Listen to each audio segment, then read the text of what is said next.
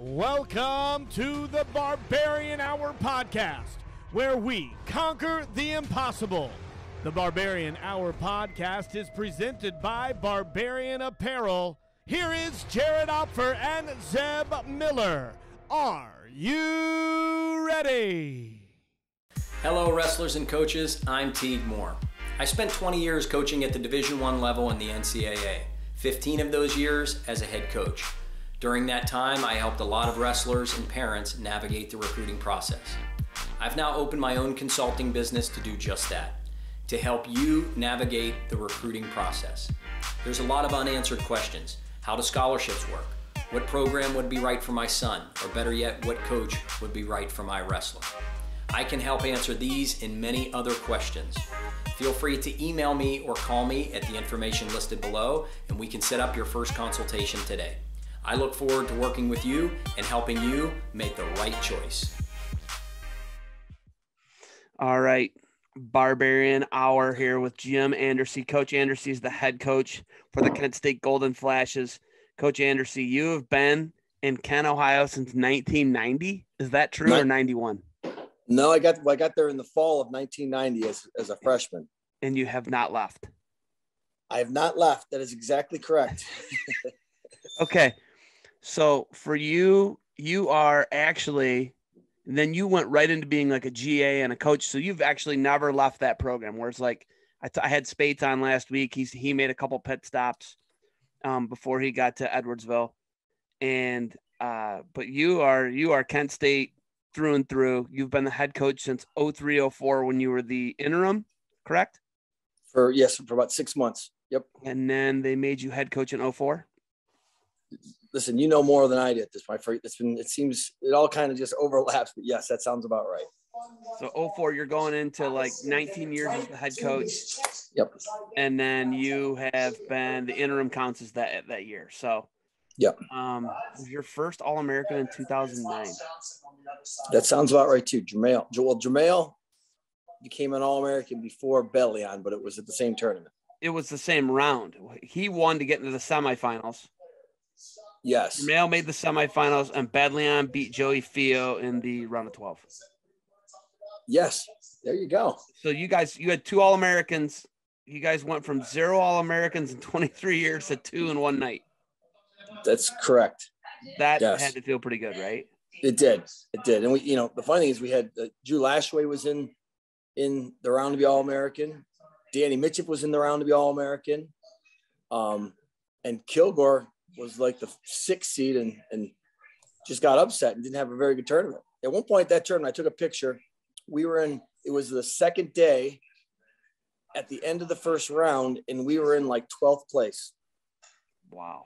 It was pretty, it was pretty cool. You, know, you guys finished like 16th or 17th that year. Yeah, like 16th or 17th. Yep. yep. Okay. So if all those guys, let's just say this uh, Lashaway gets beat in the run of 12 by Molinaro. He gets like banana splitted, right? Gave up, gave up six right off the bat. Molinaro, was a freshman. Molinaro was a, was a freshman, yeah. Yep. He got gave up six right off the bat, and he lost. I want to say nine to eight. Okay. So he loses. Kilgore doesn't place. Kilgore's like a five seed. He doesn't place.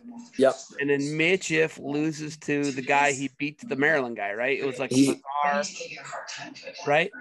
They, they went they've gone they went back and forth their whole career. But the last time they wrestled, he had beaten him at the scuffle in a really I might have been overtime.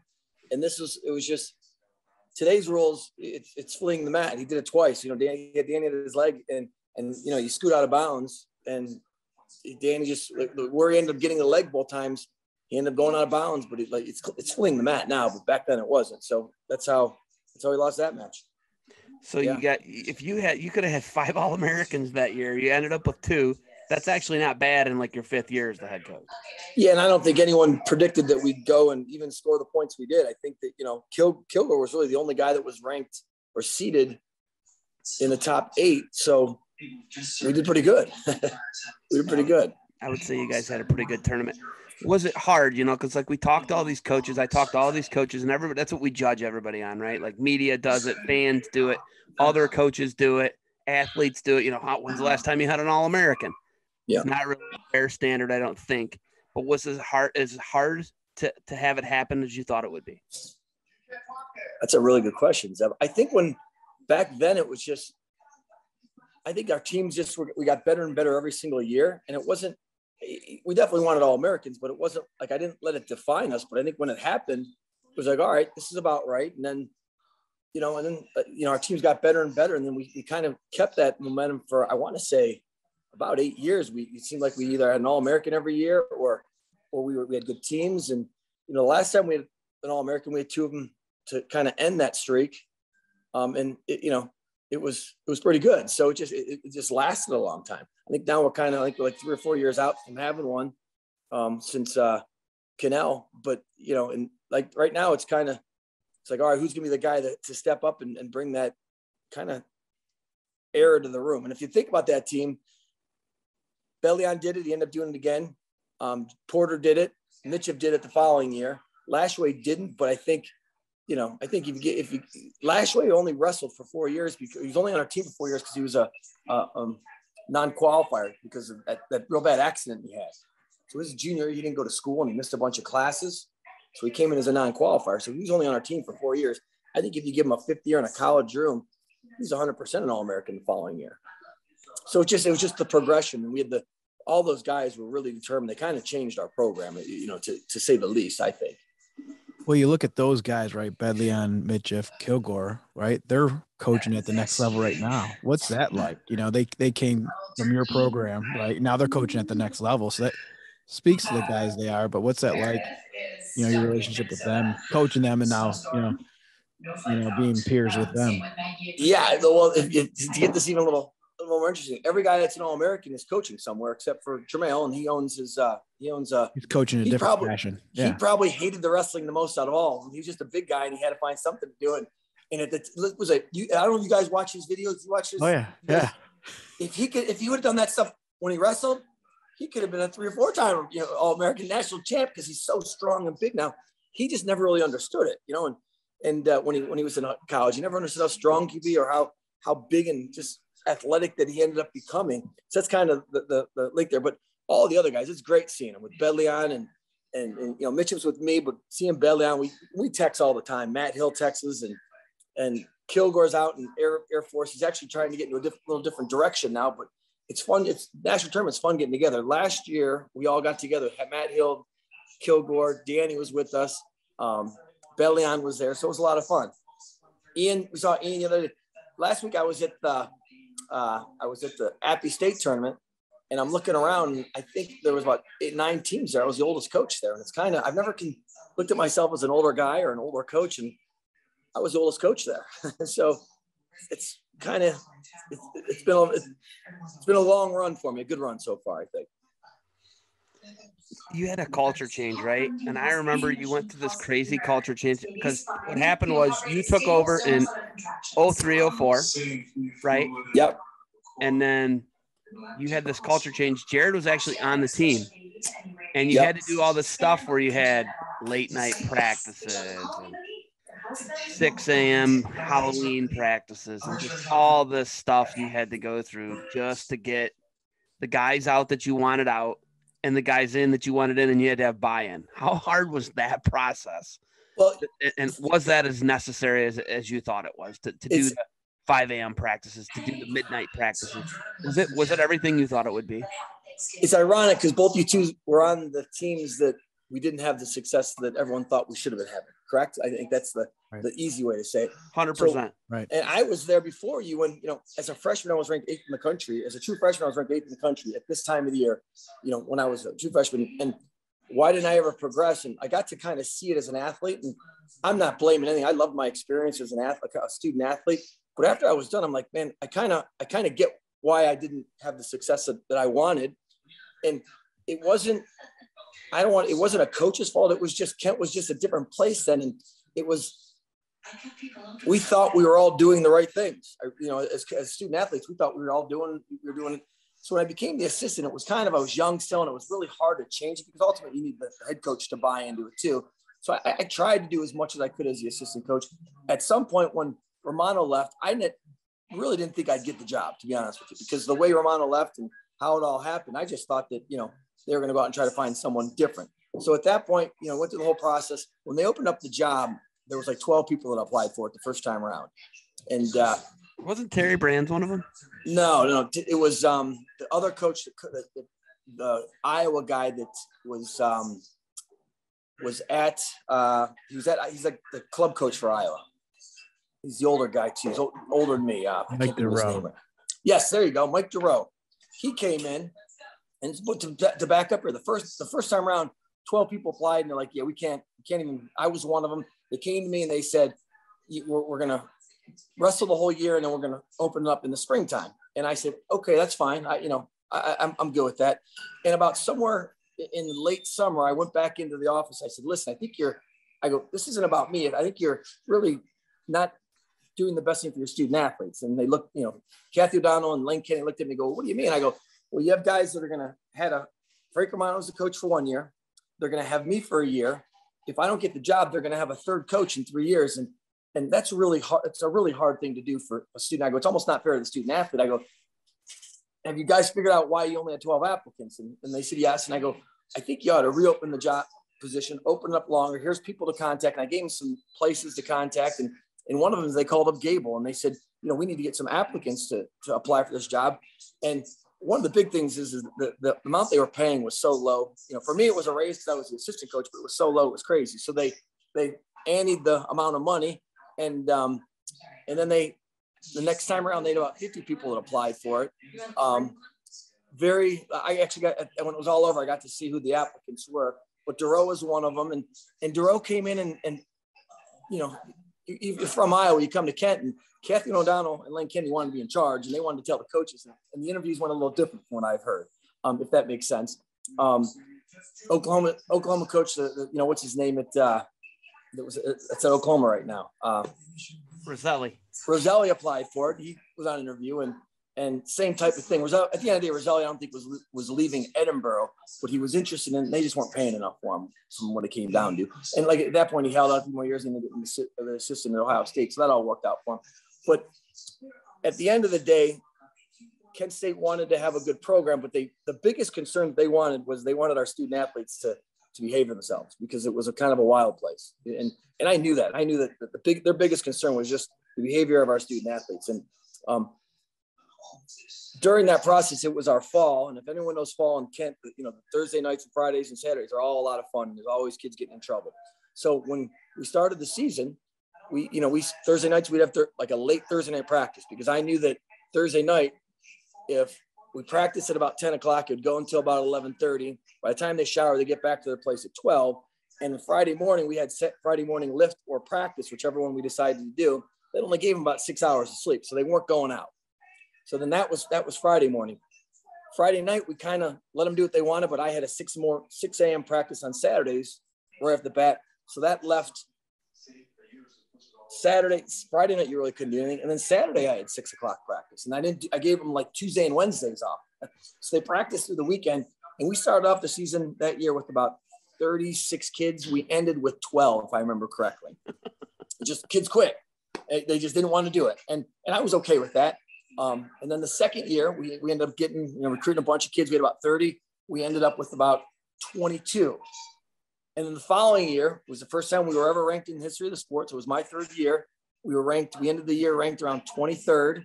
Um, I, I, and then from there, the following year, we, we ended with 20, like six the following year. We came back with 28. So we kept the whole team back. And it was just one of those things where we finally had the right kids that wanted to do it, who didn't care about the, the Saturday morning practices or the Thursday night practices. So it went on for about four years. We were doing these odd practices on the weekends. And at that point, I kind of backed off a little because I, I knew I had the right kids and and the older kids bought into it and they knew what would happen if, if they if you know they got in trouble. So they kept the young guys out of trouble. And it was just like a cycle that we had a break. And the only way I was doing it was by getting rid of the kids that didn't want to, that would rather be out on a Thursday night at two in the morning than, you know, getting ready for practice the next day. So that freshman class would have been like Artie and Ramadani, Aaron Miller, right? Yes. Those yes. are the guys you had to get buy-in from, right? Kirk, Kirk Gross. Kirk Gross. Yes. Yep. And those And- guys did buy in. Mike They- Toller, oh, they I bought think. in, no question. Yep. But it's buy-in as easy as you thought it would be. No, I, I, I knew, I knew how long it would take. I didn't know, I didn't know I, that I'd have that many kids quit. I thought that, you know, like I, as a coach, I love wrestling. I've always loved wrestling. I, I, loved it when I was a student athlete.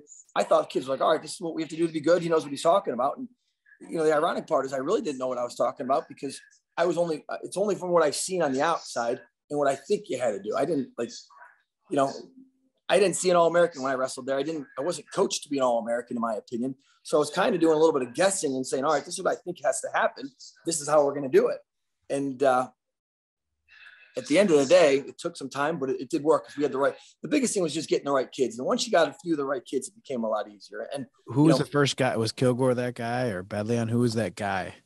I, I want to say it was like this. This might sound oddly, you guys are going to kind of giggle, but Kurt Gross really bought into, like he bought into the whole thing, except for the academics. He bought into the hard work, and he was a kind of play hard, work hard type of guy. So I don't know if he, you know, but but he bought into everything I told him as far as just this is what you got to do to be good. And and you know, made it to the national tournament a few times and was close. Um, Alex Camargo was really bought into it. And like I said, you look right. at Alex and those guys had some fun in college, if I remember correctly, especially in the spring. I kind of backed off a little bit in the spring when, you know, but we still did a lot of the, the stuff that, that you need to do prior to the season. And then we, you know, started doing summer workouts and all those guys were there for summer. Um, all that you named, like I said, you guys probably remember the era better than I do, just because I've had so many kids come through, and I'm, you know, it's it's kind of like Groundhog's Day for me a little bit. Um, but you know, it, those are the guys that yeah really changed. And then once we got Bedlion and and and like Jermail and Danny Mitchell, you, you know, you add that with Kilgore, and you add those combinations, and we knew once Kilgore got there that we, we you had a guy. Like I knew, I watched Kilgore as a sophomore. I'm like, this guy is this is a kid you want. Then I watched him as a junior. I'm like, there's no doubt this is what we want. And the funny thing is, is we found out all the background information. If any other Big Ten would have found out any of the background information, they would have offered him the full ride that he wanted. If you tell Kilgore, Kilgore's two things: is he wanted a full ride, and he wanted a red shirt. You know, Big Ten schools don't want to offer full rides. Kilgore was on like 64% at Kent State because he got the full financial aid package. We knew that because his sister was at Kent. So apparently the Big Ten schools didn't, you know, do their homework and find out, hey, you got a sister, Sean, Sean Grant. Okay, you're going to get the same type of thing. But we, you know, we knew they're going into it that we are going off a full ride. It was going to cost us 60%. Kilgore is worth, you know, nowadays he's worth for a program like us, cost of attendance, a full ride plus cost of attendance. So, you know, we only had to pay 62% for him back there. So it was a great deal. And then when he moved off campus, we, you know, we, we asked me, take a little bit less, here's your bills. And he's like, sure, you know, Kilgore, as long as he got he had enough food and he got the rest of them, that's all he cared about. And protein, he wanted protein drinks, and he, and he oh, wanted food in our office because he, yeah, oh yeah, hundred percent. Do you believe that guy's a father now? Well, he hashtag girl dad. yes, he's, he's just matured like you, so much. He's just yeah. like you two. Hashtag yeah. girl dad. Yeah. That's a whole nother story. Hundred percent. It is. Both of us, Jared too. I remember. Yeah. I remember we were on the bus. When I think you found out your youngest. You have another daughter, and now now I'm living it, right? Yeah. Yep. Yeah, I found two of my kids out when I was on the bus. Uh, you know, I got on the bus with gut wrestlers, and I'm like, uh, I remember Nick. Man, I, I, was sitting next to Nick Magistrelli as a he was an I was an assistant coach. I'm on the phone, find out it's a girl, and I hang up the phone. I go, man, I go, I don't. What am I gonna do with a girl? I looked, I, and he goes, Nick goes, just you know, Nick is 18 years old. I'm 24, and he goes, all I can do is love him, Jim. And I'm like, it's a girl. He's like, you'll be fine, just love him. And I'm like, I guess that sounds about right. Just I remember that conversation. I remember yeah. Like, love your kid, man. That's all you gotta do. Just love your kid. yeah. That was good perspective, Nick Magistrelli. Hey, how about that guy still looks 22? He looks pretty good, so Nick, Nick Magistrelli looks like a hundred bucks, man. That yeah. guy is amazing. He's like a fountain of youth. He is. He looks incredible, he and he lives in like a nine thousand square foot house. That's because he's gone all the time. He, he leaves his all, his all his nine kids to his wife, and he leaves all the time. He's traveling, traveling the world as his wife's taking care of the kids. Oh my god. Okay, so okay, so you, I remember when your wife brought Megan to weightlifting in April of '99, and her head was all footballed your wife your wife brought your daughter and her head was like it's all up long and i was like dude what's going on? You're like Zeb, oh, the kids come out. You don't know that? And I, you know i was an, an idiot. I was like 19 year old moron and I remember being like, oh, "Is this how this is going to be?" And then my son Thomas's head was super elongated like that. I like learned a, la- a, valuable lesson. What's crazy is on her own, she lives in Florida now. It's, it just goes so fast, man. It does. She graduated, and she actually she applied on spring break, was offered a job, left you know left the day or a week after graduation, She's been there since she graduated college. She, you know, she loves it. She's homesick a lot, so she, I, the holidays are probably really hard for her. Um, but she's that's where she always wanted to be is down south, and and uh, you know, it'd be interesting to see if she stays there once she has kids and and you know what happens from the next step. But she, I talked to her today about 30 minutes. She said it was 68 degrees and it was just beautiful outside. I'm like, you know, starting to get cold, and I hate the cold weather. So, dude, it's we'll miserable outside right now. I burned, I burned a bunch of brush piles today, and I was freezing. I was so cold. I was dragging them with my tractor and my four wheeler, and I like got inside, and it took me like an hour, and then I t- had to take a hot shower before I was like, this is miserable. Yeah. So cold, and it's like my bones were cold, man. It, yeah. It sucked. It was terrible. Last fall, or last very beginning of winter, I was helping my uh, my stepdaughter move her. She was moving from one apartment to the other, and uh, it was cold in there, and it was like the first day it snowed, and my big toe, not the next one, but the two one two toes after that went numb. Like they, they, they went numb. They weren't warming up, and then I took off my shoe, and they were like blue, and I'm like, what's going on with my feet? So I, I finally got them warmed up. Happened again, like the next time I was outside. So finally, I went to the doctor, and I go, I go, you know, I, t- I told him what happened, and it was our team doctor at Kent State. So I went to, just one day walked in and say, Doc, I talked to you. Went in there, talked to him, explained it. And he goes, he goes, I, he goes, yeah. He, he, named off what it was, some some disease. I go, okay. Circulation. I, go, what do you do about it? And he goes, you move to Florida. And I go, what do you mean? He goes, he goes, next year it'll probably be all four. It'll be all all your toes. And he goes, next year it'll probably be all your other toes. And he goes, you got a, a, circulatory problem. And he goes, it's you're getting older and your body doesn't want to be cold. It, you know, it doesn't generate in, in, the in the limbs. I go, well, my hands be fine. He goes, your hands are moving around. You can you can rub them together. He goes, your toes. He goes, what happens is, is they're in your shoe. They're probably sweating a little bit, and all of a sudden they get cold, and they don't warm back up, and you don't have enough circulation down there to, to warm them up. I'm like, really? And like this year, it's the other toe, so it's every toe except for the pinky one that, that is cold, and it's just they don't warm back up until I get them inside, and I physically have to warm them up. Like it isn't like your body keeps them warm. It's, it's kind of crazy. Man, getting old sucks. terrible. This is yeah. terrible. Yeah. Oh my God. I feel like I remember going to Kent State as like a teenager, and now we're talking about your feet are freezing because you're old. Yeah, I, I, remember the days. I remember the day you came into our office. You, I remember the, the very first day I met you. I remember like not like it was yesterday, but I remember it perfectly. You came in and and you introduced yourself and you said you're coming to Kent State. We, you know, you told us you were coming to Kent State. You told us that you verbally committed in the winter to OU, and then you, you used some language to what Joel did to you, and and uh, and they so they offered you a scholarship, correct? And then yeah. you had to take the money, and I'm like, so you're not going there anymore? And me and you know me me and Coach Ryan had no idea who you were, and next thing you know, you're like, I'm coming. You, and we, we got all your information, and next thing you know, you're on our team. But it wasn't like we recruited you. No, I, my my guidance counselor. I remember my guidance counselor, Mike Turinsky. My dad was like, "Yeah, good luck going to Ohio University." And Greenlee's like, "Oh yeah, well I didn't win state." So Greenlee was kind of like, oh, "You're kind of a Joe bag of donuts," which he wasn't wrong. And it wasn't wrong. You know, I was like a fifth in the state in Division Two. I was an average guy. So why does he need me? That's fine, right? I get that. Well, you don't get it as an 18 year old. You get it. I get it now as a yeah. man, right? which I like Joel, right? I, I have zero hard feelings with Joel. Joel listen, Joel you changed my life. Yeah, oh, you're right. You're right. You're right. I wouldn't have what I have right now. I wouldn't have my kids right now. I wouldn't live where I live. I my life is completely different. I wouldn't have my wife. She's a Kent State volleyball player. Everything happens for a reason. I, I want to thank him. You know what I mean? Like I, I but but right you didn't thing. like him in college. You were part of the reason that OU and Kent rivalry was so. Yeah, yeah, yeah, yeah. I, and I always got my ass kicked by his guys. It sucked.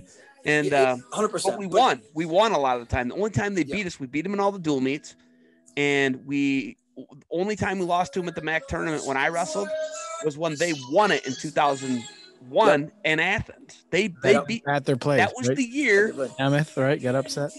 Yes, Nemeth got yep. beat in the finals. If Nemeth wins or I, any anyone wins, any one guy wins, we win the championship. We beat Central. We beat Ohio U. We're, we win it, right? We we win it. And I remember you made me wrestle for true second against the Central Michigan guy. You listen, Jared. This guy took me through the bowels of the max, uh, the the uh, Convocation. combo. He MF'd me up one side of it, down the other. I can I can see it right now. Oh my God! the You're sweater, you gotta wrestle. Your team needs you. I don't think they score that match. Doesn't they don't score the true second place match. No, they don't. They don't. I hate your guts. I like found that out like 15 years later. I'm like, I want to murder him right now. My knee was all like, I blew my knee out in the third and fourth place match against Northern Illinois guy, but I won. And then I had the Faustman guy from Central Michigan who kicked he kicked my ass in the duel. But I remember like Mitch Mitch Hancock and Dave Boyard were heckling me in the corner. I threw Yep. my nose plug at him Yeah. and then I lost to the guy three to two. I lost, Yeah. and then him and uh, the guy who won qualified. But then, then I like someone dropped it on me. Oh yeah, they don't even score the true second place. Oh, Not even then. It was like 15 years later. I'm like, oh my god, dude, I wanted to walk up to you and like punch you in the face. That was so Well, I was heat- I, heated there. Go ahead, Jim. I was an assistant at that time, Yeah. Zeb, and it was- but it was also like you wanted guys that wanted to wrestle. And as assistant, I knew that we, we like if Zeb doesn't like I'm like if Zeb doesn't wrestle, then like this could happen the same thing a year from now or Yeah. two years from now, or Yeah. and it was part of trying to change the the, Set the the culture of what's going. Yeah, it's like you know it was the right thing. You're, I'm not. It was- yeah, I- yeah. it's totally the right thing. I'm not like, I'm trying. I don't want you to hate me, Zeb. That's all. no, no, no. Like I At the time he did, but now he, At the time loves I it, did, yes. but now as like a man, because Yeah. that, that's the thing. Like I heard you talk to you guys one day. You're like, listen, this wrestling thing's easy. This is easy. Being a dad is hard. Being a professional is hard. Being Married's hard. up hard. and goes to work every day is hard, right? Like those are the real hard oh, things. Like wrestling's just a small window. And I Yeah. told Shane Sparks the story, and, the, and and I remember, like, I'm thankful for it now, because, like you're saying, it was what you had to do to change the culture, right? Like, even if you look at that, that was in 2001. It's still a part of like, well, now, and it's like the open thing. Well, look what all the guys do at the opens. right. Look at how many guys just like don't wrestle for fifth and sixth or third, fourth at the open. Everybody Yep. quits. Everybody gives up on the opens. Yep. And I think that's a part of it. But yeah, I told Shane Sparks. this- I remember though, like someone's like, yeah, they don't even score the true second match. I'm like, what? I was so mad at you, but I, I get it. You know, like I get it. I 100% get it. But like being a dad's way harder than wrestling. Wouldn't you agree with that, Jim? hundred percent. It's hundred percent. Like I said, I think I think in, in in the world, the two hardest things are to, to raise kids and to be married. And depending on which one's harder at that day, that's the harder one, in my opinion. Going to work and coaching wrestling, or even being a college student, I, you know, it's a breeze compared to being married and just and you know just you're living with the person. You know, it's it's hard. That's all. And, and raising kids is really hard. Those are again, this is my opinion. Um, I think as your kids get older, as you you know you, you meet the right person, it gets easier. Um, but uh, you know, it, like I said, there's wrestling is easy. I would love to wrestle again. Getting old is hard too at this point. Yeah, your Right? toes freeze. Your toes freeze, your hip, you know, hip. Yeah, there's a lot of things going on. I remember I uh, I got married, and uh, I didn't stay married long. And Jim was like, "Yeah, I'm never coming to anything you're ever having. If you get married again, don't invite me because I'm not coming." Well, back up here, back up here. Hold on. He a told me not to get married though. Well, Okay, Does so, yeah. Jared know? Does Jared? I, no one else is probably caring about this conversation except for us. Jared, do you know the whole situation? Uh, I've I knew he went out west, right? Right. Yeah, yeah, I went out west, and like me and Zeb used to talk all the time. He Right. used to go places. This is back before Zeb was, a, you know, a superstar and a wrestling hero. Whoever wanted to win it on his time in his business. I'm the only one to talk to him. So he, he's like, "Yeah, I'm going out west," and like he comes back because I met this girl. I'm like, you know, and Zeb meeting a girl is like, "No, no one's dealing with Zeb." So he's like, "And I'm getting married." I go, "Wait a second, Zeb, you just met this girl. What do you mean you're getting married?" So when and and then I found out she's an army. She was an army girl, right, Zeb? The, the Air Force. Air Force. And I, I go, Zeb, I go, you like you haven't like you what are you getting married for? You know, like what are you talking about getting married? You just met this girl. That's the craziest thing I ever heard. I and I go, Zeb, I go, take your time. There's no reason to rush in to get married. And he's no, no, we'll get married this week. And I go, Zeb, I'm not like I'm not gonna be any part of this. And I told him that literally this lasted, it lasted, I want to say nine months at the most, right? Was- yeah, like a year.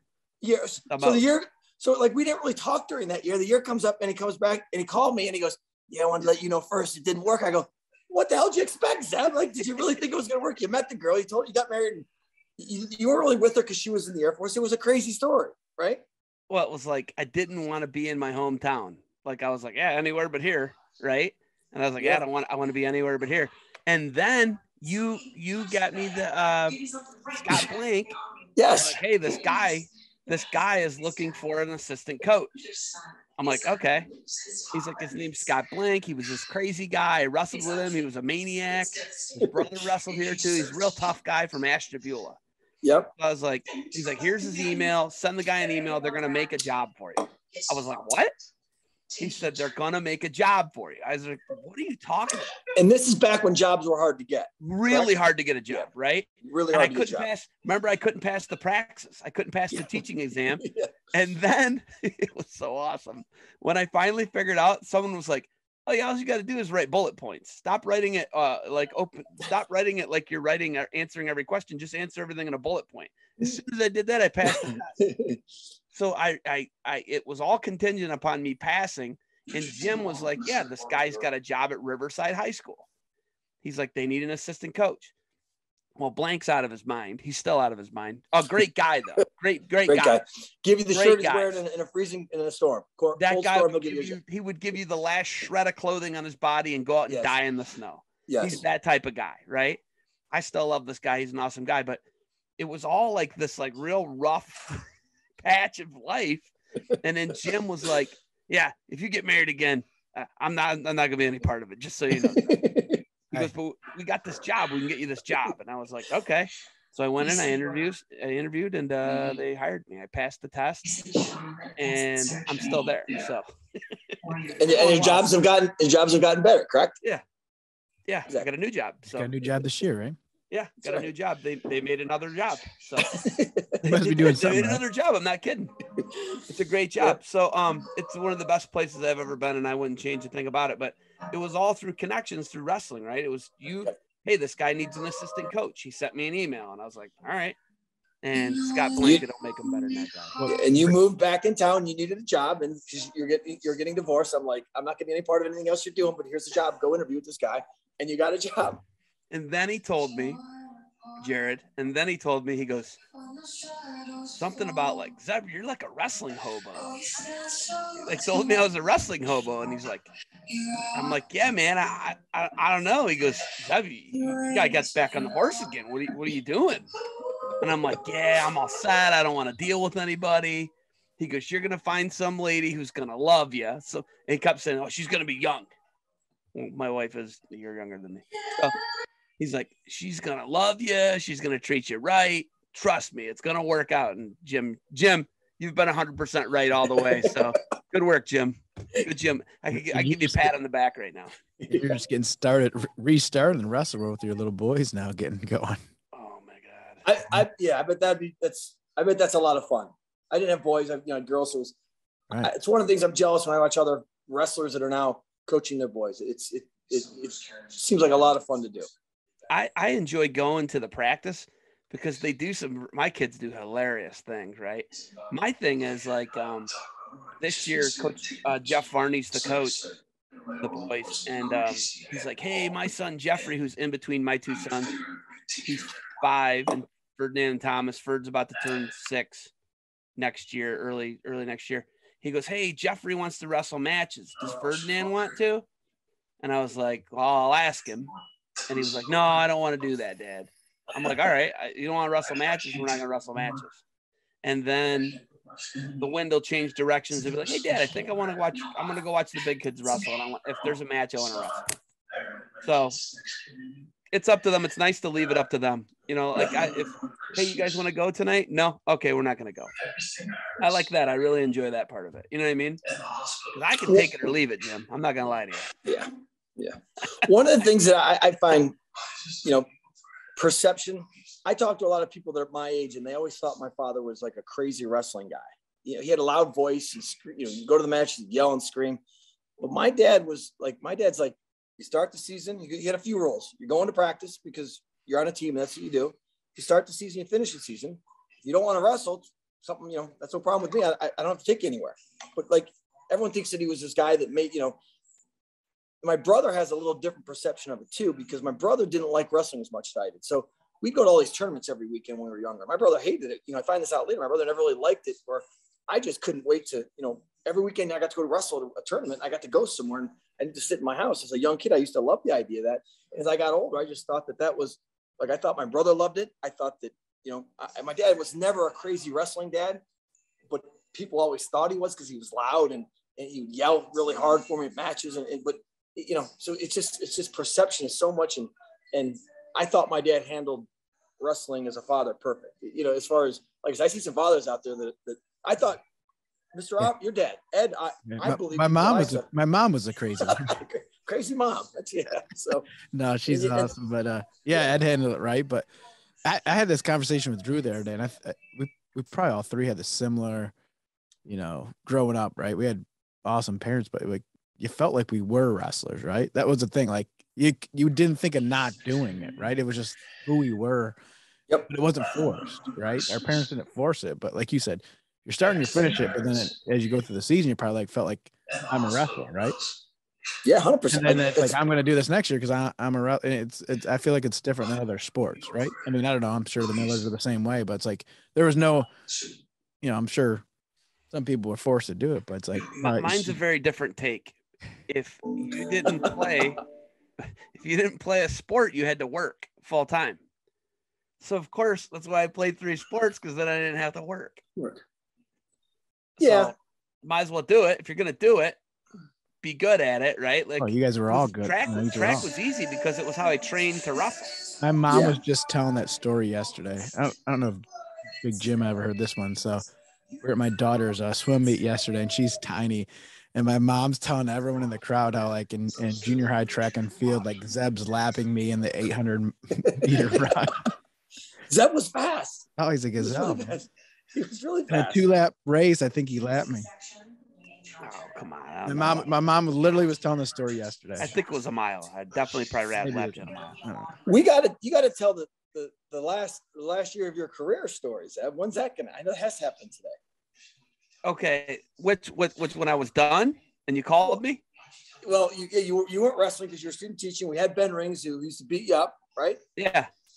And then So Ben, Oh, Ring- okay.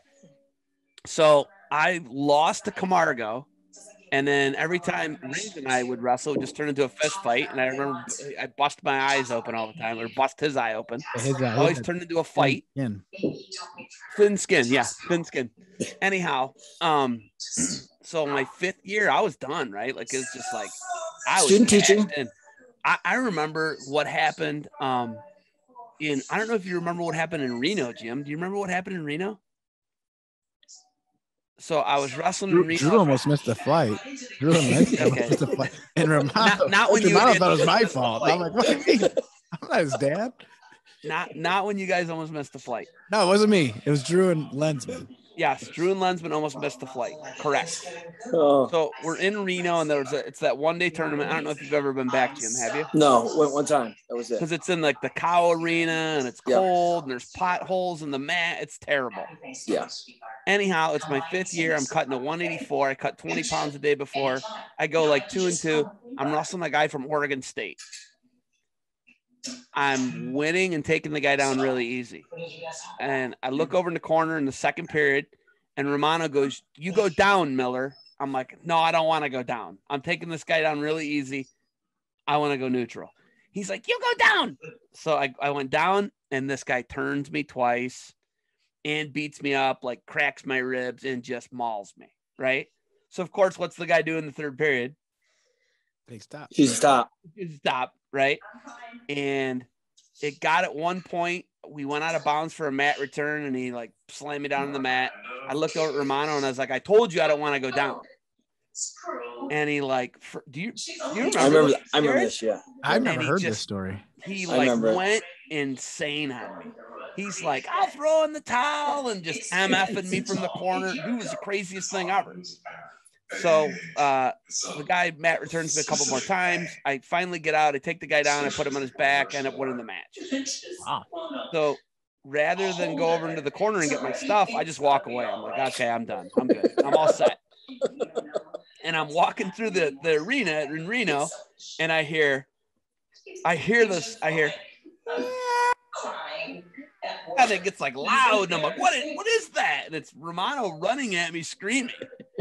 And he like grabs me by the arm and he's like, You don't ever talk to me that way. You're gonna be a man someday, and your kids will talk to you like that way, and you're gonna be a coach, and you never talk to your coach like that.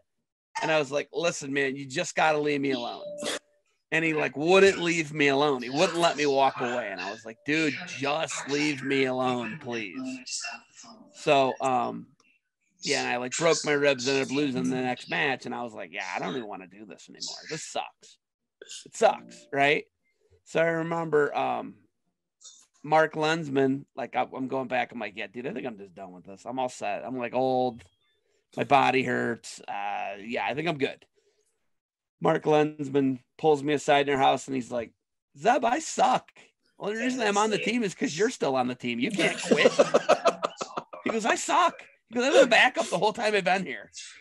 He's like, if you quit, why have I even stuck around? Why did I do this? And I was like, okay, I gotta stick around. Now. I gotta stick around now. I gotta at least do it for Lensman, right? So I had the student teaching, and I would go, and I didn't get out of school till like two thirty every day. And then Artie and Ramadani and Aaron Miller would work out with me. I don't know if you remember that, Jim. Do you? Yep. So I'm cashed out, right? I am checked out. It is done. It is over. I got beat out. Camargo beat me out. Rings beat me out. And I'm eating hearty meals every day. yeah. I'm 220 pounds and I'm in my classroom the, the week before of the MAC tournament. I get a phone call. My student teacher, Nikki Marchman Boykman's like, Hey, you got a phone call. I'm like, What? She's like, Yeah, the receiver's laying on the chalkboard, chalk tray. Go get it. And I'm like, Okay. I'm like, Hello. And Jim's like, Hey, Zeb, what's going on? And I'm like, Uh, I'm just in the middle of teaching class he's like, How much do you weigh? And I was like, Why? He's like, You can wrestle 197 this weekend. I was like, Dude, I weigh like 220 pounds. He goes, You got to make 197 one more time. He goes, Rings got Rings got uh deployed. Deployed, got deployed yeah. to Iraq or like yeah. Africa or something, right? Afghanistan, yeah. Afghanistan, not Africa. Yeah. yeah, he got sent to Afghanistan. He won like a Purple Heart. Yep. He saved some people's lives in an embassy that caught on fire. And Jim's like, you got to wrestle. I was like, dude, I'm, I'm 23 pounds overweight. He's like, you better make that weight. And I was like, all right. And guy, this is just also with with no, this wasn't cell. We had no cell phones back then, so I called no. like from my office phone. Yeah, and he called me at the day. school, the classroom. I phone. called every number. Then finally, I got at your classroom. I got a hold of your classroom. Yeah, it was like with a. It's just it, times are so much different. Yeah, it was on an so actual crazy. phone we called. yeah. Yes. Yeah. You called me in the classroom. And you, you that's the you took third, isn't it? No, the year you third's the year you made me wrestle for true second. Okay, well, you did really well at this. I yeah, the, I lost to like Sermonera. Yeah, but it was Sermonera. I lost to like, and I lost an overtime match. I lost to Sermonera by a point, and I lost an overtime match. But you wrestled really well. You're like I remember at the end of it, you're like, dude, I, I don't think I could ask any more from you. No, you were like you left it all out there. I was like, yeah, I'm just not very good. He's like, no, you're not, but you fought real hard. That's awesome. I never yeah. knew, the, the, Reno side. I knew the other half of it. I knew the uh dude, the Reno thing was crazy. He like went nuts on me. But like, I mean, I will say that like the best thing that I, I didn't quit. I'm glad Mark Lensman, you know, snapped me back to reality and was like, dude, I've sucked forever. You're the only reason I stayed on the team. I was like, okay, I think I owe you that. You remember that Mark Lensman used to beat the crap out of out of Nemeth though in the room. The, in the room, the, right? Room all star. And he knew that. Like I think he knew that, but he just, it, yeah, he he was great in the room. He just, he, yeah. You know, back then, you've probably seen that a lot, though, right? As a coach, seen the like rest the guys in the room, and then yeah. they get in front of them. It's nowadays you kind of understand it a little bit more because of so much, you know, so much mental health things out there, and you're like, right. all right, this guy, you know, this, this, guy's he's dealing with something. Back then, you just like, I don't think Mark Lensman had any. He just had a lot of anxiety, probably, or something that back then he didn't really diagnose it with. Right? I don't know what the exact words. yeah, and I think the other thing, that, the other thing, Jim, with him is, um, and I think that like you always said this about St. Edwards and St. St. Paris Graham guys, they're really good those yeah. coaches, those guys are already being coached by Division One, like top ten type coaches. Yeah. So it's like, how much better can those guys get? I mean, they're training all summer. They're going to camp. It's a way of life. They're living it. They're not even playing any other sports. it's it's like how much better can those guys get? Whereas Jared had a lot of upside left, even though he was a four-time state champ. You yep. know, I probably had upside left. like you have upside, you have legs. I don't know how much, but you know, like you're gonna obviously have your David Taylors and you're gonna have the uh, Alex Marinellis, but if you look at the Graham guys and you look at the St. Ed's guys, they're super coached up. Those guys super are coached. all college ready. Like, don't don't be surprised if those guys come in as true freshmen or redshirt freshmen and all Americans because they're ready. I don't know how much more they got left, but they're ready, and those coaches are so good. John Heffernan's yeah. so good. Yeah, Jeff Jordan's so good. They're so they're amazing coaches. Yep. So that's something you probably got to look at it when you're recruiting those guys because they have such they are so and then Mark Lensman fell into that because he did the Jordan camps all summer. Then he worked the Jordan camps all summer, and every summer, right? So there was no break from wrestling. No, none so, at all. No, none at all. And it's like, you know, they really gotta love it. And, and then you you know, there's all these other things you're saying. There's mental health stuff. Are they doing it for themselves? Are they doing it for their parents? Yeah.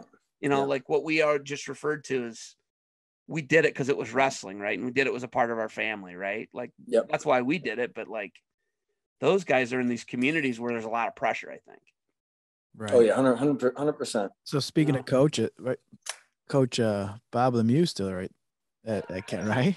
Bob is still there. Talking yeah. about Kent State, right? Is he still the Bob is, coach for the team or what? He's still the head. He's the head strength coach now. So he's in charge of the whole program, and it's, you know it's called strength and conditioning, and, and they added another word to make it sound really fancy. But uh, he's still there, and he does he does wrestling, women's basketball, and the golf sports, and, and he kind of oversees a lot of it now. But he he's never let go of wrestling, and he our guys love Bob, but back mm-hmm. back when he was there, there was some resistance, I think, especially our really good teams. Nick, uh, little Nick, Nick Bellion didn't like to lift. Mitchell wasn't a, a, huge lifter.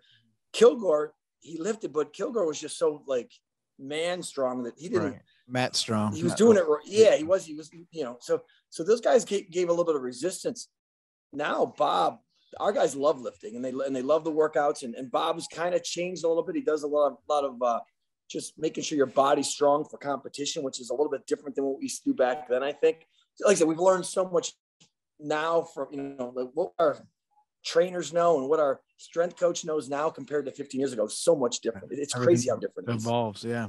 Yeah, like we hated. Like I never wanted my guys. Like when I first started, like don't go to the training room. You go in there, they're gonna unless you have to go in there. Don't go in the training room if you walk into our, I don't think either one of you seen it. Our new training room is like, uh, it's one of the, it, we got a cryo, a cryo machine in there. Oh, it's nice. one of the best training facilities in the country because they just redid it. Um, it's amazing. It's, it's incredible. And now like our guys go in there for, for cold baths, they go in there to get treatment. And you actually, you're telling, especially the young guys, get in the, get in the training, make sure you're getting ice on your body, make sure you're getting, you know, stem if you need it, take care of your bodies because the season's so long and we just know so much more now than we did back when, when we competed or when you guys competed and when I competed. Right. That's crazy. No, Bob, man, he, he, was good to me. I, I liked him. Tell him yeah. I like Bob. I'm a fan of Bob. I like Bob. I always enjoyed lifting. I was weak as a kitten though. Jim, you remember telling me that? Yeah. Oh yeah, I Miller, did. you're fat and you're weak as a kitten. And I was like, those are probably fair points. those are probably fair points. I think that those. Oh. I remember you think you told Simmons that too. Simmons, you're weak as a kitten. What about like I, I know this had to come from Nick Nemeth. Nick Nemeth used to come to practice like this is when I was assistant coach, and this not that this was part of the problem, but he used to go in the corner and do WWE stuff with with Sean Wentz. They used to go off in the corner, and there was like when we drill, play, they and they'd play grab ass. They, they would. They, yeah. Is that right? And he was our best guy on our team for the most part. It was right, right. I used to just sit and shake my head because it, like it went on in our room, you know. But it's kind of crazy. Told the joke last week. He did oh, a stone cold stunner to me one day, and Frank Romano literally watched him do it. Frank Romano did an about face, did a did a 180, and just walked the other way and act like it didn't happen. he literally told this joke like it's not the, the sad thing is it's not even a joke. It's a real true. thing that happened. You're confirming it. He told it last week at the stand-up comedy show at the Odeon. Yep and yep. it happened. That's the can't believe it totally happened. Yep. Oh my god, how wild is that? Yep. Yep. And, and, and then, then, and then he then he got the then he had the bad shoulder. I think it was his junior year, maybe his friend or something. And I had to drill with him because he couldn't. No one else would go with him because he didn't want him to get hurt. So I drilled with him literally the last like five weeks, five weeks of the season. He worked. He only worked out with me. No one else but me. Um, I might have been his senior year. Maybe his year, whatever year he had surgery. Um, but I had to work out with him every day because we didn't want Sean hurting him anymore. Because Sean was the one who hurt him in the corner doing whatever what it is he does. And the way Yeah, he wrestled, goofing help off. Goofing Yeah. off. Yeah, yeah. What a bunch of psychopaths.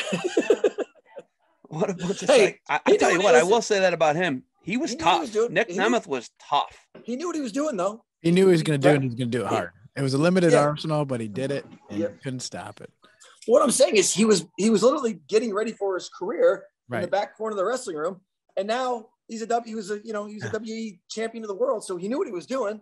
Yeah. It was just as a wrestling coach, you're like, what's this guy doing, man? Like he's not. Those aren't wrestling moves he's working on. Those are you know. Fake. I- It's fake. It's theater. That's theater what he's doing. Yeah. Oh yeah. I love it. Like when you bring it up, I'll be like, "Oh, Gable Steveson's amazing," and he's like, "Yeah, but this is fake." I'm like, "Yeah, he'll kill everybody." He's like, "Yeah, he probably will, but this is fake, so don't worry about it." so, Jim, um, when you go from being a head coach and you guys are a joke for however many years, right?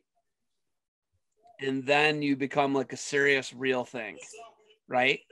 You start having all Americans. You got five guys that could be all Americans in one year. Two of them do it. What is that? What was it like? What was the reception like with people? Now they're not talking behind behind your back and telling you something weird, right? What was that like? What was that like to get the the? I did something right. We're doing the right things here. It was a culture change. But when you got the validation and you guys finally kicked the wall down and Jermail gets the job done and Nick Badlion gets the job done, was there any doubt in your mind you couldn't have a national champ within like five years? Well, I, when Kilgore got there, and, and, you know, even after his first year, when he didn't have the success that he wanted the national we knew that he was going to like. We knew this was the guy. Like, you knew that just how he did things, and even you know, he went his freshman year. He won like 50 matches in his first two years, so we knew he was good. He had beaten Simaz in open tournaments as a freshman. Simaz was an All American his second year, so we, we knew it. It just, you know, like I said, to win a national title though, you gotta you gotta be really good that weekend. You gotta have a little bit of luck, and you gotta be healthy. And Dustin wasn't that healthy his first year because he cut so much weight, and that's why he didn't have the success he wanted. His second year, he made a comment to me his second year after it was over that that he was really nervous and he was just glad he glad he placed. And I'm like, Dustin, you you were in the quarterfinals, you were winning the match against the guy who was in the final, who got a guy who made it to the finals. I go, you were better than him, and I go, you're just glad you're an All American. So he never really believed it either, honestly. I knew that I thought he could be a finalist his freshman year, his or his sophomore year, and he was just glad to be an All American. So at that point, it like it kind of hit me. But after that year, when he was an All American, I'm like, Dustin, you need to be competing for a, a national title, or you don't have your mind right. I go, you're that good. And he looked at me, and goes, yeah, next year we're to do it, coach. And I go, I'm being serious, Dustin. He goes, I know, Yarn. I'm being serious back. And and literally that next year, he had two losses where he looked horrible at the Southern Scuffle. He, he looked amazing. He beat uh, Pasillo. He, he beat Simaz in at the um, body bar tournament, which we used to go to. He did really bad in the middle of the season. And then we actually let him, we backed off on him a little bit. We gave him some time off and just let his body, like, he was so just go, go, go all the time that his freshman year, we went, we, we didn't give him enough time off and he, he peaked too early. So at that point, me and Matt had some conversations like, all right, he goes to her. We need to back him off. And then we got him to peak again for the national tournament. And, you know, I, nowadays you'll see it, but back then you didn't see many 97 pounders matches like you did when him and Simons went. They wrestled twice and they scored a total like 50 or yeah, like 55 points in two matches for upper weights, which you didn't see. And they were takedowns and, you know, it was, it was, they were crazy matches and you didn't see that from big guys. Now you see it a little bit more because we're a little bit more athletic and we're, we, we've evolved as a sport, but it was, you know, he, he, and he put it all together. And even in the finals, I, I've watched that match a few times recently. It, you know, just how he wrestled was so hard and intense that that he did it, and it was great. And then next year, he got you know, two years later, he got to the finals again, which, um, you know, people's like, well, how come he lost? And I'm like, he lost to a guy that was a three-time national champ or a three-time finalist and a two-time champ. I go, the kid, kid was pretty good himself, you know. So yeah, that's that's what happens when you're that good. You beat other guys, you get to wrestle other guys that are that good too. So, you know, it, it I think we knew it. I think at that point, other guys believed in it, and know, I think Ian was on that team maybe his last year. Does that sound about right? Yeah, Ian and him were together for for because he Olympic redshirted, and then they were together for 2013. Okay, yeah, Because Ian wrestled the one year, the year that uh, Dustin Is- Olympic redshirted. Ian Yes. was a freshman. yes. And then we redshirted him, and that's when also um, Bedley. I'm like, we got to wrestle Ian. We got three guys here because you had Kilgore and also Bedley on, and and he and but I didn't think I didn't think Ian I think Ian needed that redshirt year, and you agreed with me. Yeah. After his thought freshman you- year, Yeah. we sat down and like, you need a redshirt. You need to you need to tight, tighten up some things. Yeah. It ended up working out for him. I mean, he's Yeah. a three-time All-American after the redshirt year, and he's you know the only guy to ever be in the top six three times. So Yep. he Yep. did something right, and I think he was in such good weight classes too. But Um, yeah. Oh yeah. Hill Hill told the story that Ian and Kilgore were training for Akron, Yep. and they were like, Hill was like, "Yeah." Ian said, "Let's go takedowns."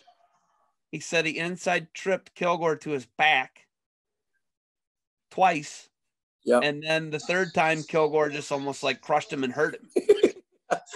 Yeah, that's 100 percent right. He's like he said he inside tripped Kilgore to his back, and he was he was 155 pounds. Yep. Kilgore was 220, Yep. and he said he just ran and inside tripped him. Yep. Twice. like, oh my god! And he goes, That then, he, we- then he got Goonie on him. He got like Yeah. you know, like he was playing with a toy trying to murder it. You know. Yeah. Oh yeah.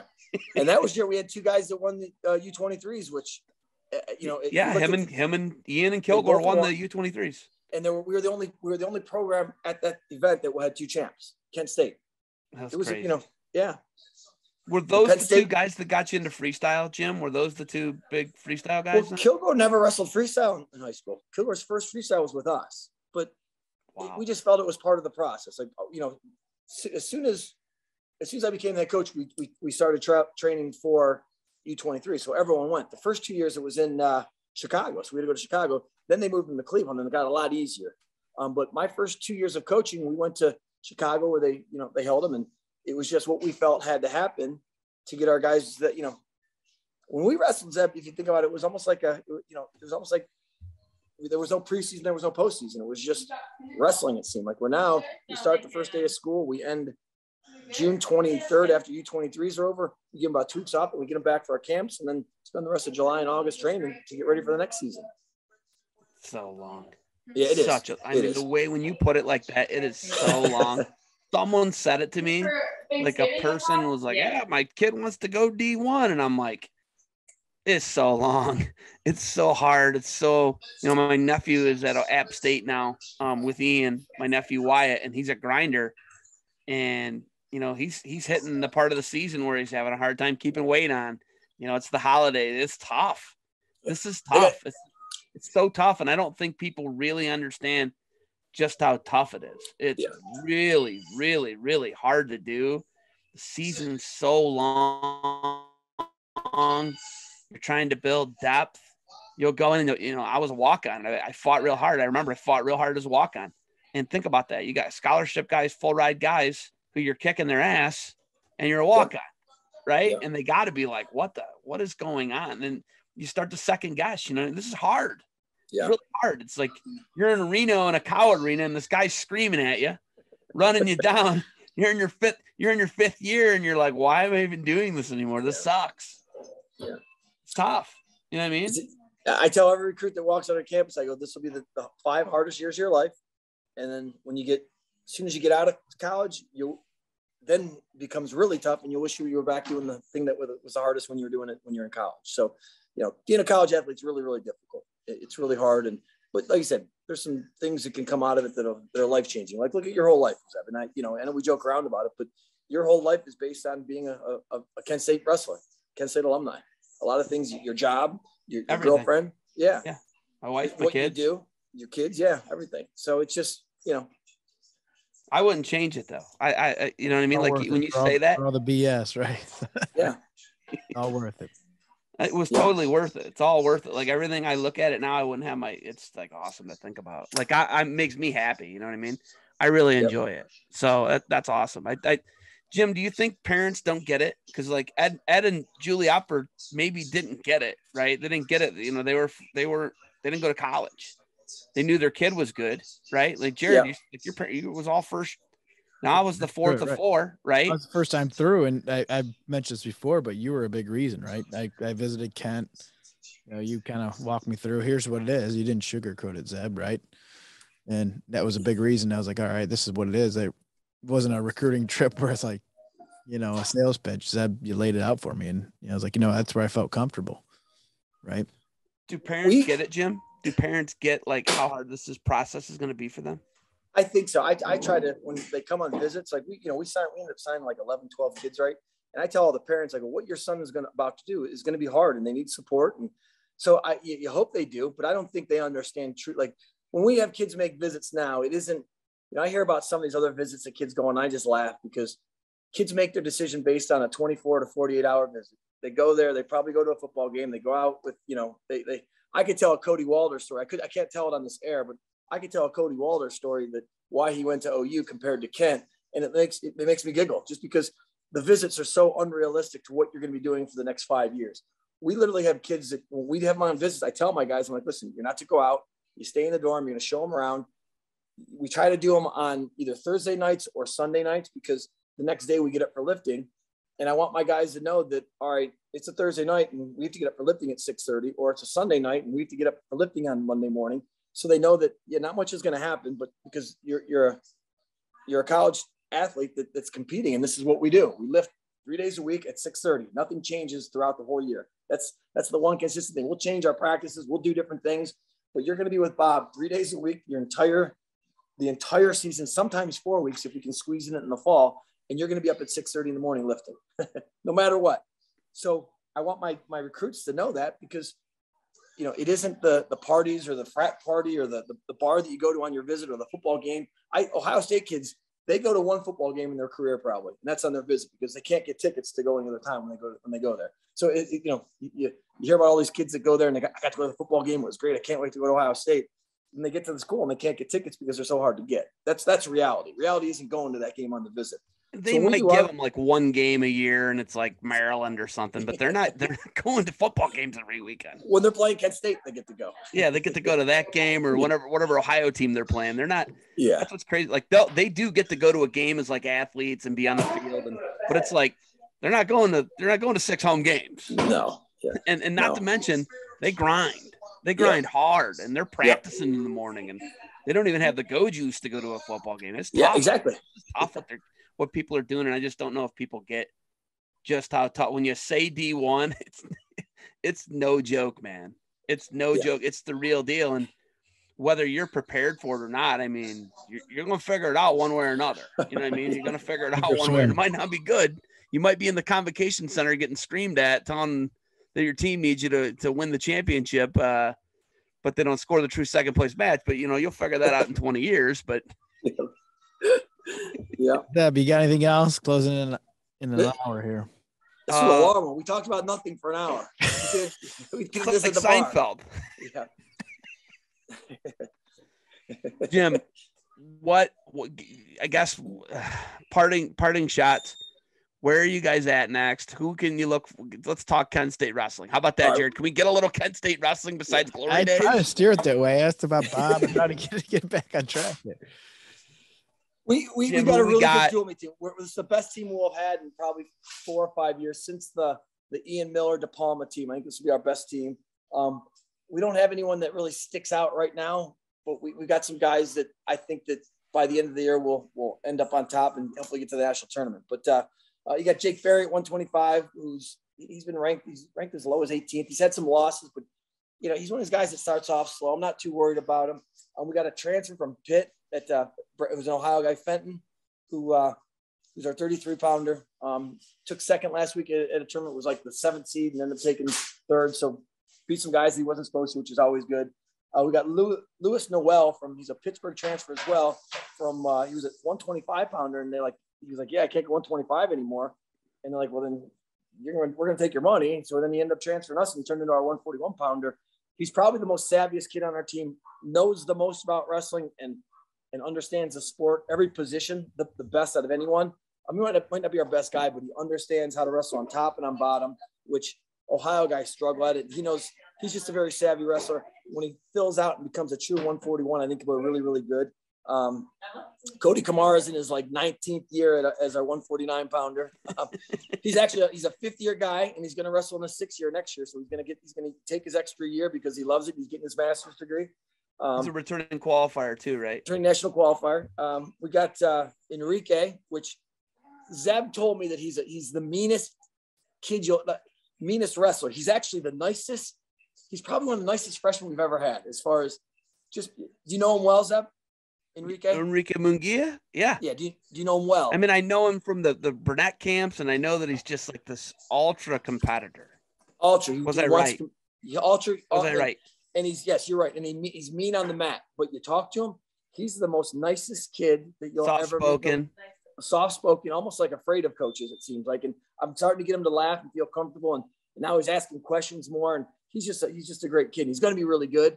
I mean, he probably could have used a red shirt, but he's our best guy and he wanted to compete. So we're like, all right, you know, that was part of the deal. He's like, if I'm the best guy, do I get to wrestle next year? We're like, yeah.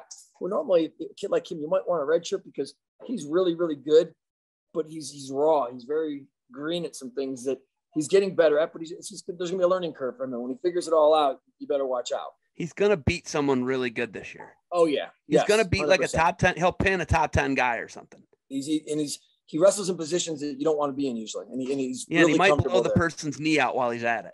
Hundred percent, hundred percent. He he's just super competitive. Yep. And you can never count that guy out of a match. I like him. What about 65? Sixty-five is uh Najee Lockett, another Cornell transfer. We got a lot of transfers. Cornell transfer was a, I want to say a two-time finalist, and and in between there, he didn't get to wrestle one year. That was his the, the COVID year. So sophomore year was a finalist, I believe. And then his junior he didn't get to wrestle. His senior, He oh, lost. no. Yeah, he lost to Karshala in the finals. Yes. He's pretty good. Yeah, he's, he's really good. I'm He a big fan of Najee Lockett. I've known Najee Lockett since since he's a, like a little kid. He's been. They're both Burnett guys. Najee's Yes. a Burnett guy, and so is Munguia. And, and once again, uh, really nice kid. Hasn't wrestled, hasn't had a knee injury. Hopefully, we'll get him. He, he would be ready, ready to wrestle at Vegas when we go there, but he, we're just not going to send him to Vegas for his first competition. But he's really good. He's, I think he's a guy that will surprise a lot of people. Just his style is so much different than most college wrestlers. And we got another transfer named Michael Ferrero. He's a, he's a Ohio guy who came back with the Campbell.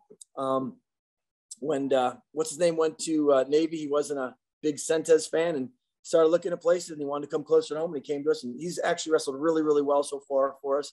I think once again, loves the sport, loves to learn. Like he's a, he's a, he takes notes. He brings a notepad to practice. He comes in and watch films and he's a true, he's a true, he understands the sport and wants to get better at it. He's one of those guys that's like, this guy's to be good just because he works so hard and, and he wants to be really good. Um, McCracken, fifth year guy, 197. Uh, Bates, Wait, wait, wait. McCracken's down to 84. 84. McCracken's at 84. Wrestled 97. He's down to Qualified last year at 97. Wrestled AJ Ferrari at the NCAAs, Yes, he did. Yep. he- and now he's down to 84. down to 84 where he should have been other years. He just, you know, so he's down there. And then Bates went from 84 to 97. And then we have Jacob Cover, who's our heavyweight. Like I said, it's the best dual team we'll have in a long, in, in a long, in a lot of years, I think. So I'm excited about the year. Um, we got a lot of guys that are kind of unknown a little bit, a lot of transfers that, that have left to come back to Ohio because mainly because of the, the COVID and just how much things cost and wanting to be closer to home than where they went originally. And I think we're one of those programs that really benefited from the, the transfer thing. If you look at who, you know, who's in our line, who's in our lineup, just because they wanted to come back home during this whole COVID situation. So we said we ended up signing 11 kids. We, we lost. So two years ago, we lost all our scout. We lost 50% of our scholarships. We went from 9.9 scholarships to five scholarships like that. So we have to write our scholarships and they have to be in, in the athletic department by June 28th. The 25th, my AD gets me on a phone call and tells me that I have to go from 9.9 to five scholarships. I'm like, well, how do you want me to do that? I got kids, kids, and he goes, I don't care. You're that coach, figure it out. That AD is no no longer with us, as you can tell why. Um, but you know, we had to literally cut our scholarships in half. We had to t- I told every, almost every kid on our team that we're cutting your scholarship in half because we were at 9.9. We went to five. That means everyone had to get half the money they were getting. A lot of kids stuck through it. Um, we had one kid that couldn't do it financially, couldn't make it. He went back home. That was Earl Blake. And then every other kid came back. And then uh, next year, we're getting all our scholarships back. So we had a lot of money to recruit with. We ended up signing about, like I said, we got about 11 kids signed so far for next year. So it's really exciting. Got a coach back and, and uh, um, uh, Malik McDonald, who big guy, another soft-spoken coach. You talk about he's as soft-spoken as you get as a coach. It's, it's kind of bizarre with my personality and his personality. It's a it's two different mixes that we've never had. Me and Matt, me and Matt are very similar. Matt Hill, Danny's not soft-spoken when he gets, but when he gets a little grumpy, you know, he's, he's he gets at guys. Where Malik's just really really soft-spoken, comes over and you know give you the old rub on the you know rub your back type of thing rather than he just he just operates a little bit different, which is great for, for what we we lack in some areas. You need uh, that in a room, right? Though some Yeah. contrast, right? Yeah, hundred percent, thousand. I agree. You. It, it, makes a difference, and our guys got nowadays. Guys, not that there's anything wrong with that. It's just so much different than you know. I wasn't rubbing anyone's back 15 years ago. I wasn't walking up to Dustin Kilgore and rubbing his back and telling him it's gonna be okay. You know, it just didn't happen. We didn't. How it worked. It's not how the, sport works. yeah. Now nowadays it does, and yeah. the kids need that and they want that, and it's important. Which you know, if it's important, ultimately we're about trying to get our student athletes, you know, to be to have great experiences and be successful. Um, and if, if, kids need that nowadays, which they do, it's pretty apparent. that's what we're here for. So it's a big part of our job now. Jim, when's the last time you told someone they were fat and weak as a kitten? I haven't. I can't remember the last time I yelled at our guys. Mike, like I got a bunch of really good guys. You know, academic. We, we've for some of the years in the past we've lacked in in wrestling. We've had like some really really good academic teams. We've been in the top ten the last like six years in a row as far as academic all teams. So you, you kind of give up some things the smarter kids you have, the less problems you have. So if you can, you know, if you think about it, getting educated kids would come from really good families that are smart and they come, they're, they're doing the same thing academically.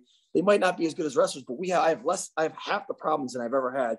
And, and now, you know, they're, they're all really good guys and it's just, it's a little different environment now than it used to be. And, and I really enjoy it. I enjoy the guys on our team. I enjoy, you know, how much they want to learn, how, how important they see the academics. Very seldom do I have to get on them about academics. It's, it's really strange compared to what I used to worry about. What's uh what's the next country concert? I, I bumped uh, into you a couple times this summer, right? What, we yeah we coming up. We didn't see it. We didn't see you come come back because they redid that one, right? I know we didn't make it back. We had some conflicts. I was bummed because we had really good seats for that one. I was kind of you did, I yeah, you did. Bummed, but uh, but uh, we met, we uh seen a few more, but not that one. But you got anything on the horizon or next summer? Or anything you're looking at? Next summer, my my daughter and my wife are big country like country ah. music fans. That's where I saw you. Yeah. And I don't, I don't know any. I, I, like live performance. I like seeing people perform. It's almost, Same. it's Same. a lot like wrestling. You know, you got guys out there performing. These guys are, they're doing great at what they do. And when you, you watch in person, it's different than watching on TV. Hundred percent. Like yeah. even listening on the radio, like yes, I don't like the song. You go to a concert, it's great. They're, you know, they're. Right. And, and who do we? Who was that guy we saw? Uh, that was uh, we went over the uh, with uh, our friends. It was uh for her uh, their anniversary. Thomas Rhett. We were like Thomas we were up front. we were like up front. Yeah. He's like the he's like a performer of all performers when it comes yeah, to yeah. Like how he, taking pictures, grabbing, doing FaceTime, yeah, like yeah, all kinds right. of stuff. He's great. He was really yeah. awesome. Yeah. Jim, how many more years? How many more years can you do this? Well, he, head wrestling so, coach, Kent State University. How much longer you got? I just signed another contract, so I have two years. In two years, I can officially retire from Kent State University. I don't see myself retiring in two years, but I, I don't know how much longer after that I'll go. It, like I said, a lot of things will have to work out. Um, I, you know, it, it, will it'll, it'll come down to a lot of things. Um, so, but I did just sign a two-year contract, which, uh, um, which will take you through retirement age though. You can retire after two years and be done. I'm a state of Ohio employee that's in category B. It's the age 52 and at least 30 years. I'll have 33 years and I'll be 52. So if I, you know, because of the category, you had to be 52 and you have to have 30 years. I'll have 33 years and 50. So I'm going to get three years above the 70%. So I'm going to get seven, 77.5% of my, you know, three best average years for the rest of my life. Nice. So, yeah. So nice. Okay. Hey, stick around a little longer than that. You know, it, it, it depends. It depends on a lot of push things. it up to over 80% of, of your high, highest five years. That's pretty good. Yeah. Really good. Like I said, we have a really good AD. If you would have, the other AD, if he was still here, I would have said, please get me through these next two years. And then I'll go away and I'll, you know, the, the old AD, he did not like wrestling. Um, he, he wasn't, he wasn't good for a person like myself. And, and, you know, my thing is, is we, I, I, I believe I worked really hard at this job for a lot of years and he, he just, everything was no to him. And, you know, and I'll give you an example. So for example, when we started, when we started getting really good, we started having camps and we, we use that camp money to pay, uh, to pay a volunteer assistant. So we were paying like $29 a night for a kid to sleep in the dorm. Our guys were getting in trouble. Every summer was a nightmare with his camps. So I walked in the AD's office and said, listen, let me run my camps in the field house and let me dorm them there. And the AD looked at me and goes, why would you want to do that? And, you know, he's an older guy. And I go, I can keep my guys under control. They can't leave the building. They can't go anywhere. They're there. I go, plus I'm going to pay dorming fees. And we worked out a negotiation and it was the, the greatest thing. We, you know, we saved about $29,000 in in money that now I had the ability to be able to use for my, my program, where before it was going in dorming costs. My guy loved it. At that point, we expanded our camps, made it a little longer. Football coaches were all pissed off. The AD goes, listen, this guy's bringing in $250,000 a year. You know, he's running camps. It's good for our program. It's good for his program. It's funding a lot of what he does. Great. We did it. We did it. All of a sudden, this new AD comes in and he says, you get in the camps for five days, uh, a Thursday night through a Tuesday or whatever, and that's it. And I'm like, we just make all this money, help support this. And he goes, I don't care about that. And I'm like, what do you mean you don't care? Like that, you know, we, you should care. And he didn't care. And it was, it was his way or the highway.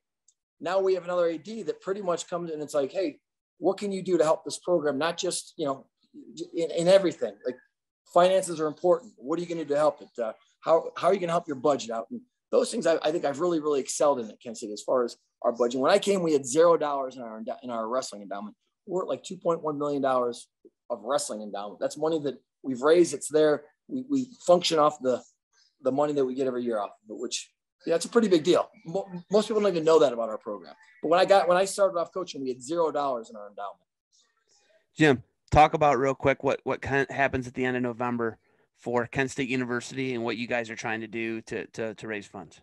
So November 30th. So this is you know November is like the giving month. They start at the beginning of the year, at the beginning of the month. It goes on the 30th, and that's actually Giving Tuesday. So on November November 30th, we are having a we're going to have a, a crowdfunding day we're trying to get 450 unique donations of, of $25 or more. And, you know, you're saying $450, 450 people to give, that's a lot. How are you to do that? And I'm like, well, if you think about all the kids that have come through the program with me or before me, $25 nowadays isn't a whole lot of money. So we're literally, I've been sending out texts. I've been, I've been sending out emails. We're hoping to get 450 people to give 25 bucks. 25 bucks will actually turn into 75 bucks at the end of the night because the university doubles it on that day and they have something called this this boost. So for every 20th $25 donation, unique donation you get, the university gives you a $500 boost on top of that. So if you add that all up, for every $25 a person gives, at the end of the day, it's going to be worth $75 towards our program. So our goal is to get 450. If we end up getting 450 people to do that, you know, we'll be above the $40,000, which is our goal.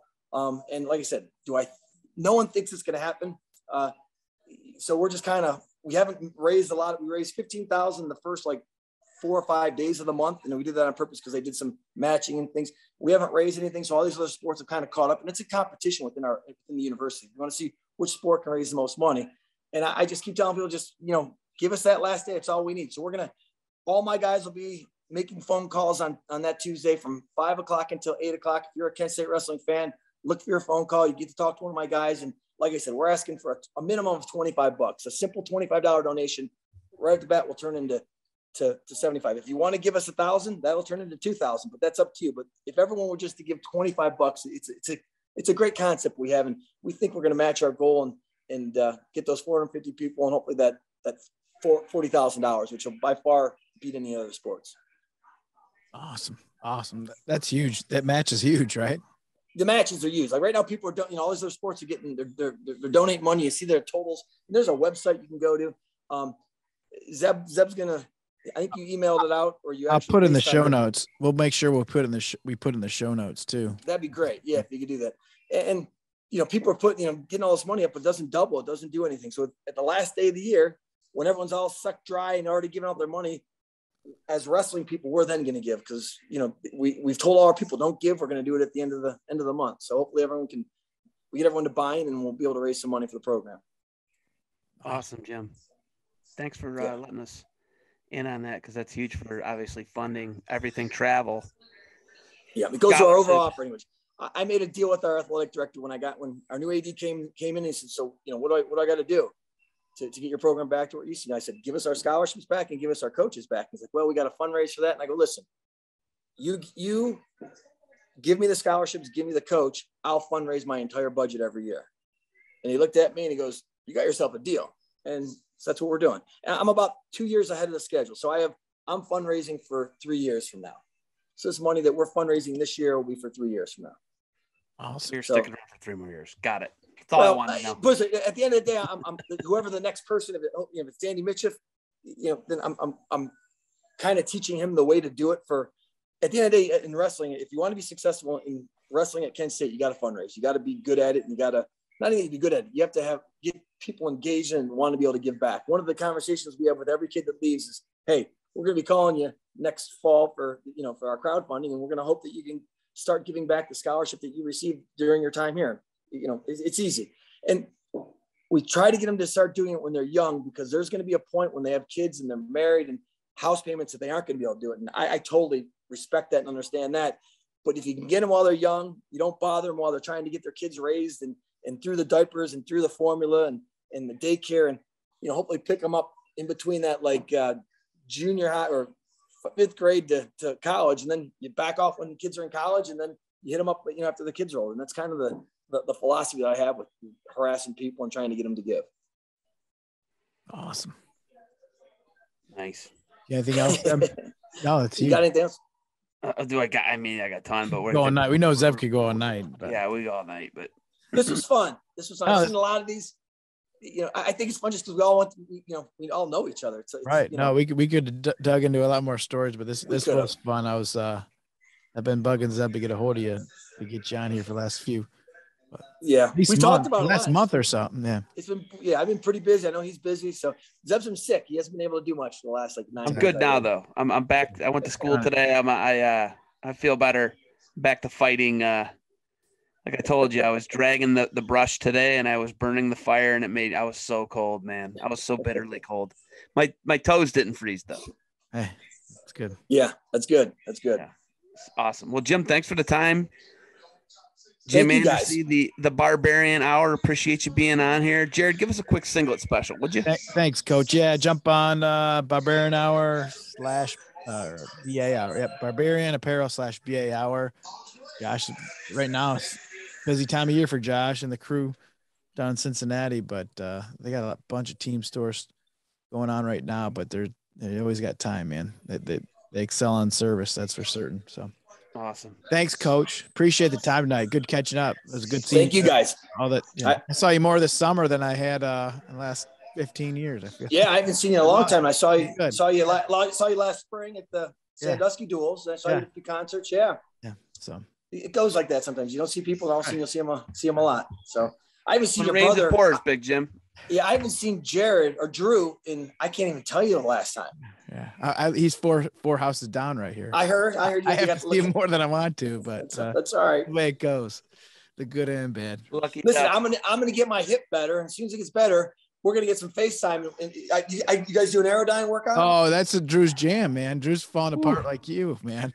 I got an Airdyne, Big Jim. no, Well, Drew and I jump have on it. one. Drew and I actually Corey got Drew one for. I got one too. So do I. Uh, I yeah, they're one. they're uh, they're amazing. Um, I got the old school one. I got I upgraded a little bit easier to use. yeah, Oh, I I got a pristine one, man. If you saw mine, you'd be like, "That is nice." Drew had actually. I need to start getting on it. Drew's broke, and I had a backup one that Drew had to like steal pieces for it earlier this week. Like Drew's serious, like serious about it. He's like, I'm, I need to get it fixed. Like, "Then get it fixed, Drew. Take, take care of it. Yeah, Drew, Drew's an airdyne guy, buddy. but, Come on. but yeah, Yeah. man, it was good chatting, Awesome. man good chat with you guys. It was good, fun. I, I really enjoyed stuff. it. Good seeing you. Good seeing you. Guys have good, good, good holidays. Happy holidays. Tell your families I said hello.